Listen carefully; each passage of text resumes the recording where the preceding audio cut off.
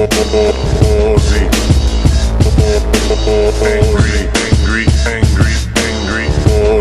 always wanted to do nature documentaries.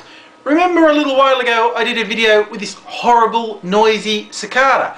Well, I actually found one the other day and I took a picture. This is what they look like. And just for a bit of context, I took another photo with my hand next to the cicada.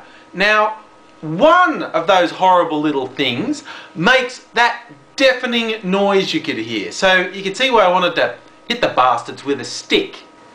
But another little nature story for you today. Brush-tailed possums, cute Australian native fauna.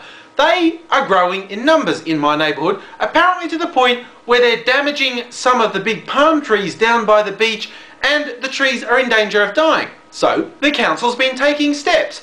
Uh, they put some bands around the trees that were supposed to stop the possums from getting up to the bits they like to eat, but local activists who like the possums said that was mean to the possums and they actually cut the bands down. So that little plan of the council's didn't work and the activists thought they got their way.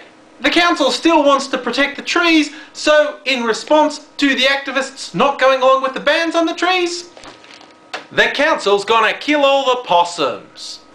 Now, I'm not an expert on strategy, but I think at the next group of the Possum Lovers Society, they're gonna have to face up to the fact they done fucked up on this one.